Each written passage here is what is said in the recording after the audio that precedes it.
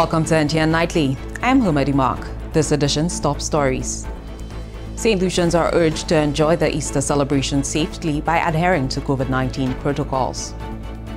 The first shipment of the Oxford AstraZeneca vaccine from the COVAX facility to arrive here by next week. And the government of Taiwan donates more PPEs to frontliners. The celebration of Easter this year is scaled down, like many other events and activities the world over, due to the COVID 19 pandemic. The government of St. Lucia, on the advice of the chief medical officer, announced adjustments to the curfew hours in order to limit movement and ultimately the spread of the coronavirus. CMO Dr. Sharon Belmar George says despite the difficulties in the past year, we must remain focused on what is truly important health family, and life. The public is reminded that although the Ministry of Health notes the flattening of this third wave, we still have over 100 active cases in country. We would like to alert the public that mass crowd activities and open socialization is not recommended nor approved at this time in our management of the pandemic. We are still at high risk at this point. The public health team is working to reduce the cases to less than 50 to enable safe opening up of activities. We ask the public to work with us and continue to be patient. The premature social activity will lead to an upsurge of cases given the exponential transmission typical of this virus. As such, everyone is reminded that we need to continue adhering to the infection prevention and control measures that are proven to reduce transmission of the COVID-19 virus and keep us safe. While the CMO notes that Easter is traditionally a time for family activities and socialization, she is urging St. Lucians to make responsible decisions to keep safe. We ask the public to celebrate the long weekend responsibly. Avoid excessive alcohol consumption, avoid driving under the influence, drive within the speed limits and manage conflict safely, especially since we note the increases in violent crime over the last few days. If accessing the beach, do so with caution and monitor young children closely. The Easter weekend is noted for drownings and near drowning events. Chief Medical Officer Dr. Sharon Belmar George. Meantime, the Royal St. Lucia Police Force is reminding the public of their protocols for the Easter weekend. During an update on NTN, Superintendent of Police Dr. Mashama Sili informed that mass crowds or large gatherings are not allowed. Family gatherings are allowed but are limited to 10 family members of the same household. River limes and beach limes are not allowed. And so we are seeking the cooperation also of all bar owners to comply with the grab and go protocol. All protocols were put in place for our safety, and we cannot do this alone. We are all negatively impacted by the few who refuse to comply. We must remember that this is a highly contagious disease, and so we solicit the cooperation of everyone. For the Easter weekend, kindly be reminded that the curfew hours are as follows. Thursday, 1st April, to Friday, 2nd April from 7 p.m. to 4 a.m. Saturday, 3rd April 2021 from 6 p.m. to 4 a.m. Sunday, 4th April to Monday, 5th April. The curfew hours are 3 p.m. to 4 a.m. Commissioner of Police Milton Desir has cautioned the public against breaching the protocols. Commissioner Desir says the force has pooled its resources to strengthen its numbers for the weekend. But we are urging persons to be considerate, do not venture into activities that are not approved. You know what are um, activities that uh, that you are permitted to do. It was read. It is um, you could have a house, a house um, gathering with at least 10 persons being family members. So that is all the pattern that is that is permitted. We see in other islands the, their protocols. We have some islands that the beaches are closed over the weekend. We see some that have a total two-day two-day shutdown, but we do not have that. Persons are still free to move around, but we need, there are certain things, certain activities that persons have to desist from participating in or hosting. Um, there are some flyers going around about a breakfast party and so on. These things will not be permitted. So um, off the bat, don't try it. It will not be permitted to, to happen. We, um, our intel have received information as to where these things will be taking place, so we will take the necessary action to ensure that these things don't go ahead. Commissioner of Police Milton Desir.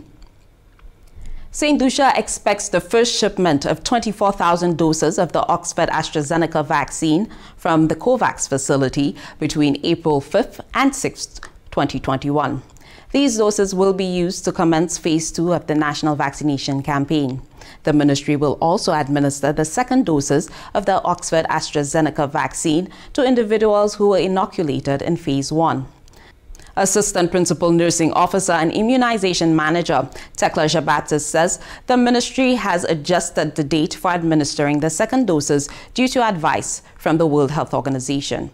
Initially, St. Lucia had decided on a six-week interval for receiving the second vaccine dose. However, the World Health Organization, in its last release on March 16, 2021, noted that a wider second dose interval of 8 to 12 weeks is recommended. This revision was done as it has been proven that this wider window increases the effectiveness of the vaccine as it provides increased protection from the virus to individuals who are vaccinated within this updated schedule.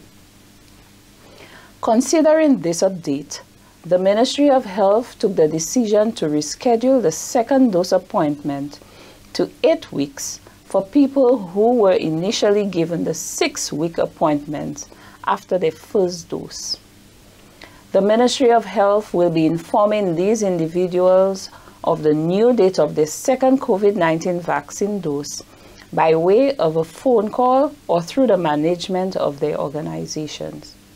Like any other vaccine or medication, there are common side effects associated with these products, which some people may experience. For the COVID 19 vaccine, these side effects are generally mild to moderate. When they do occur, they tend to last about 24 to 48 hours after receiving the vaccine. Common reported side effects include tenderness, pain, warmth, and or swelling at the injection site, fever, chills, fatigue, headache, nausea, muscle ache, and body pains. There have been few reports of rash, itching, dizziness, sweating, and abdominal pains. The Ministry of Health is encouraging people who experience side effects associated with the vaccine to report this to the healthcare provider. This is part of the monitoring and evaluation process of the COVID-19 vaccination program.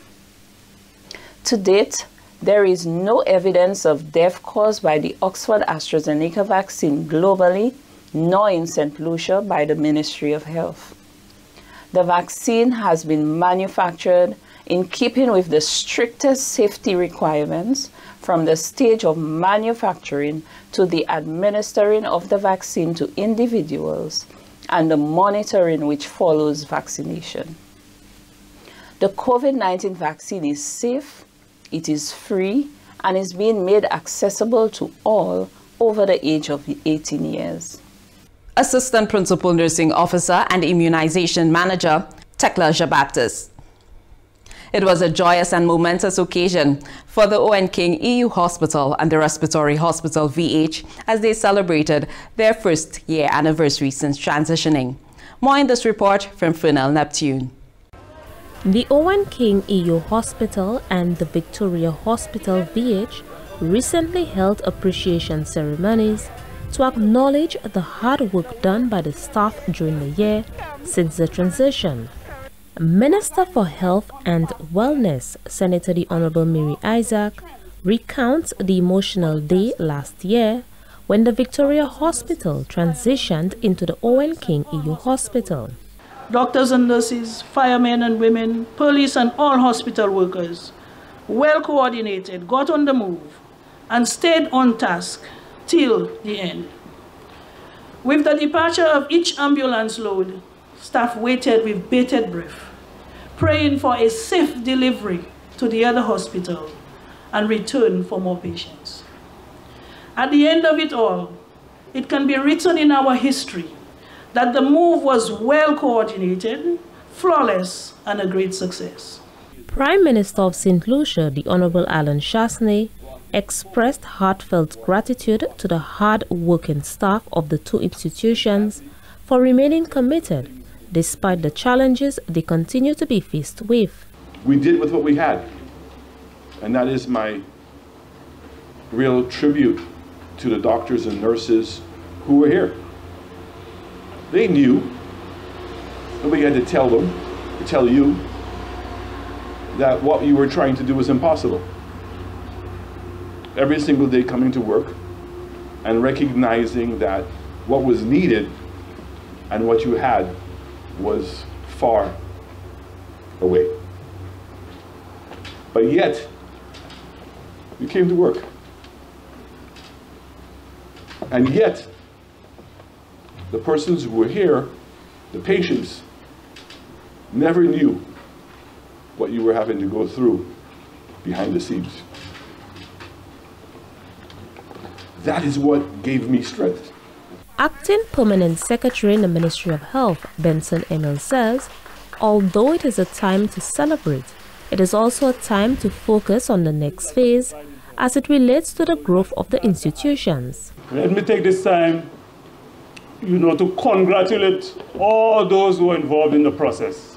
It was challenging. You know, it required, you know, extended hours. It required quite a bit of sacrifice. But we can come here today to celebrate our survivor. And we can come here to commit, you know, to framing and developing, you know, and forming this institution and the respiratory institution to bring it and escalate it to the highest standard, one that is delivering care and looking after the well-being of St. Lucians. The first anniversary celebrations were held under the theme Transition We Have, Continued Good Health and Safety We Will. Reporting from the Communications Unit of the Ministry of Health and Wellness, I am Fenel Neptune.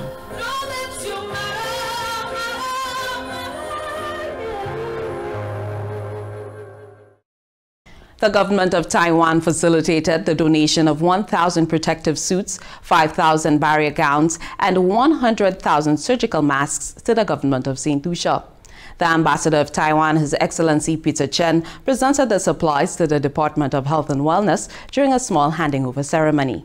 It's my honor to be here once again to support St. Lucia efforts in combating COVID-19 by presenting St. Lucia this token of care and support from extraordinary Taiwanese entrepreneurs. On behalf of the TSMC Charity Foundation and the MEDEX International Corporation Limited, I'm handing over 1,000 protective suits, 5,000 barrier guns, and 100,000 surgical masks to help citizens in Fair Helen better protect themselves and continue her fight against the pandemic. The supplies were received by the Minister with Responsibility for Health, Senator Honorable Mary Isaac. She expressed deep gratitude to the Taiwanese government for making the shipment and logistics possible. We can safely say that the government of Taiwan has contributed immensely to our success in managing the pandemic in St. Lucia. Without your help, much of what we have done would not have been possible. As you know, we have been able, we can once again say we have been able to contain the virus, though we have had a number of spikes, unfortunately so.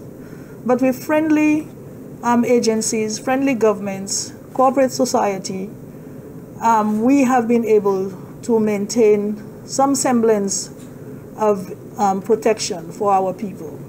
The permanent secretary in the Department of Health and Wellness, Benson Emil, says St. Lucia and Taiwan has a long-standing relationship and their support to the development of the country is reflected across various sectors. This has seen us, you know, as a people and as a country benefit in many ways across all sectors. In the area of economic development, you have assisted us in improving and enhancing you know, our physical infrastructure. In the area of education, the technical assistance that you provide and the financial donations that you make to us has gone a long way in assisting us in enhancing this sector as well, especially you know, allowing us to benefit you know, from the technical advances. In the area of agriculture, we have to mention that the technical assistance that you provided in that area as well. Emil says the government of Taiwan has proven to be a partner in the delivery of healthcare in St. Lucia. The proceeds of the St. Lucia Tourism Authority's UK Gala and Charity Auction event in 2019 have been donated to the Boys Training Center, BTC. The total sum, $26,034.41, was presented to the Juvenile Rehabilitation Center on 1st April 2021. Doreen Georges is the SLTA Public Relations Manager. The Boys Training Center particularly was chosen. Um, we're neighbors, if I should say that. Um, our offices are in close proximity, and we value the work that the Boys Training Center um, does, especially with the young men um, in rehabilitating them. And so annually, the St. Lucia Tourism Authority seeks out a charity that it can work with in that regard. And we really want to thank our travel and tourism partners who donated um, to, to this cause. BTC Director Juan Sonson accepted the check on behalf of the institution. On behalf of the Boys Training Center, the wards and the staff, I'd like to thank the St. Lucia Tourism Authority for this kind gesture I'd like to thank them for recognizing the efforts that we put into rehabilitation of the boys who come to the center. Um, it's only fitting that um, this check is coming from the St. Lucia um, Tourism Authority because of the fact that our aim is to steer these young men from a life of crime, which inevitably, if we fail, might impact negatively on our tourism product.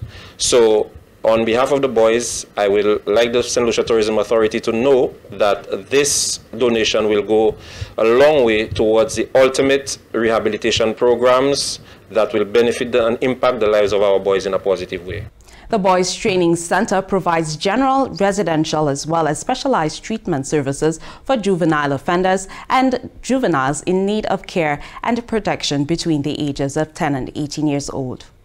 This is NTN Nightly. Up next, Primus Hutchinson with the NTN Nouvelle Creole.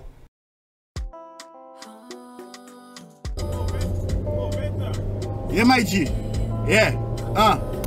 The road clear, my G. Do road. Do road. I don't feel now is the right side. Are you mean by the road clear, my G? Do road. 120.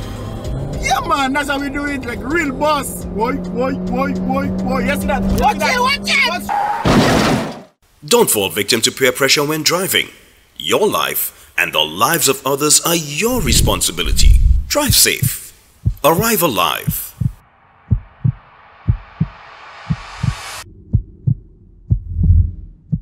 Welcome back. We join Primus Hutchinson for the NTN Nouvelle Creole.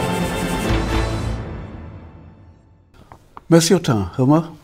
Monsieur, Madame, département qui a responsabilité pour information en gouvernement celle-ci, ça c'est GIS, ek Televizyon Nasional pia NTN ka posatow nouvel an koyol posatow Primus Hutchinson.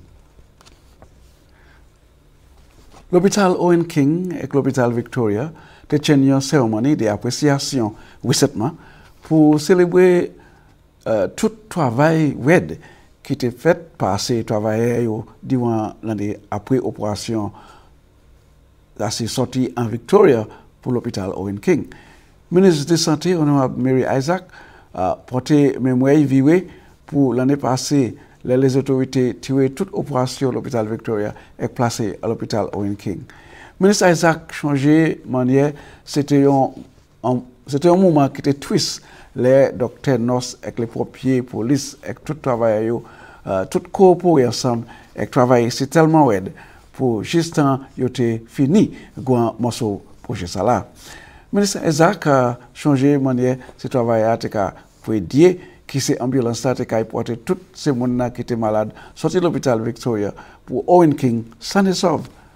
Ministre te a di ki i chanje kote uh, hote la kontatman tout travaye ki travaye ki le travaye la fet san piyes trakasman, san piyes se moun na ki te malade la touve afekte. Premier ministre Honorable Alan Chasney osi te twe appréciable pour tous ces travailleurs, euh, pour tous les ces institutions santé ça là, pour dédication et pour qu'à continuer chaîne commitment euh, malgré toutes ces situations qui chagrinées.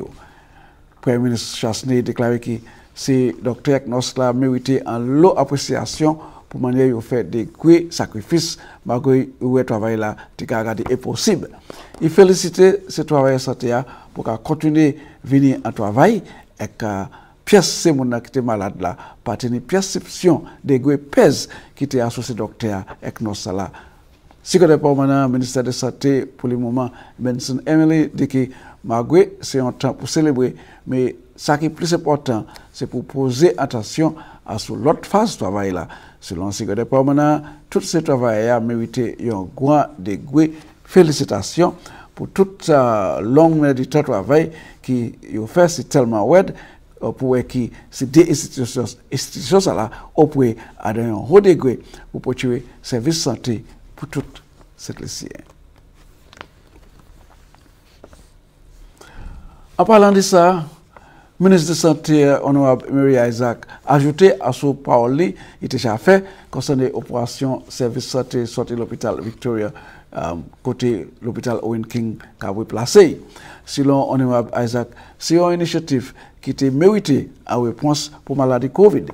E avwe ki sa pati veni an realite si pati efor tout travaye nos dokte ek tout les ot. Yo si remesye Prime Ministre Lesi, Honorable Alain Chasley, de gwe asistas ki bay pou fasilite chèjman sa la. Ministre te ya ka sa kwanyon grand éprouvement pour service santé à cette. So aujourd'hui, jour nous on dans OKEU, nous pouvons préparer pour ça, entrer en OKEU, mais pour mhm. la petite COVID, nous tenons pour ça faire vitement, so that nous te ça joindre Victoria Hospital pour nous te ça mettre ces gens qui sont malades depuis COVID là. Ah, so c'est qu'on a la passé, nous tenions une belle célébration, nous te mhm. Victoria Hospital et puis de nous aller OKEU. Eh ebek nou moutwe e se staff la se moun nan dat ki nou apresye yo, nou mhm. apresye sa yo fe ya, nou mhm. ba yo do to ati, um, um, ki sa kwa di momento, nou ba yo do to ati ti plak pou moun twe, dat ki adan jwen certificate, a chay yo jwen um, jwen bagay from corporate sponsors, um, a chay corporate sponsors yo jwen, so mweni pou wimesye se corporate sponsors la tou ki fe sa posib, eh evek se tabaye apresye sa yo, moun twe yo apresye ti seremoni an chay, so do mwen pon, do mwen di atyolman, mersi apil pou tout moun ki ede nou move sorti Victoria Hospital epi ale OKEU. Ek nou stil mi yon chay moun ki ka ede nou toujou kon nou ka tape kon nou settle an di da OKEU. Gwan institisyon sa se gwan institisyon ki ka adwese situasyon kot abizman drog an set lisi, tre konsande epi si katite jennes ki yon balaj ki ka engaje an drog ek wong.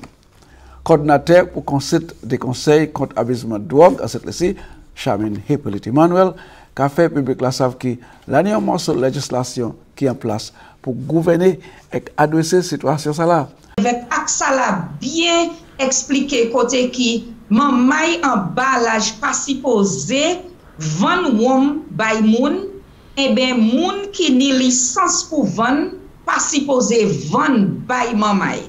Bon, nou, nou, nou ka wese bagay sa la ka fet, efek, pitet moun ka di, oh sa se ish mwen mwen eti kaba we mwen, e ebe sa mwen de mwen bagay konsa, men nou ni pou pwen se bagay sa la se ouye, efek pa ki te jwen nan situasyon ko am um, loa ni pou am um, involvan zafè ou human services e polis e bagay konsa, la ni loa pou jide tout bagay, efek, nou pa sipoze ki te man may angaje an kalte bagay konsa, Ok? So, lè nou ni mamay ki kay patike se bagay kon sa. Yo kay vini pli gwan, evèk pitet sa nou amouche yo. Pitet e mwen ka di. Sa nou jamouche yo, se sa yo kay end up ka, ka vini abitwe epi. Ebden nou kay kopon kouman ye. an pil se bagay la am ki ka fet oli ou an nou. Nou kay e kopon kouman ye yo koumanse. Mwen pa ka di se tout le se bagay la ka fet kon sa. Men nou ni pou kopon la ni lwa pou suiv evek moun ki ni lisans pou either retail, eh enbe guest house, eh enbe restaurant, enbe bagay kon sa, ou ni pou pwen responsabilite, ou ni pou suiv sa yo di ou pou fe.